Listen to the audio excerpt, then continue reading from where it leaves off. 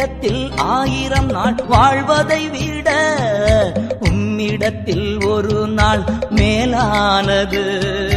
ஒவ்வொரு நாளும் உமது இல்லத்தின் ஒவ்வொரு நாளும் உமது இல்லத்தின் வாசலில் காத்திருப்பேன். ஆமே வாசலில் காத்திருப்பேன்.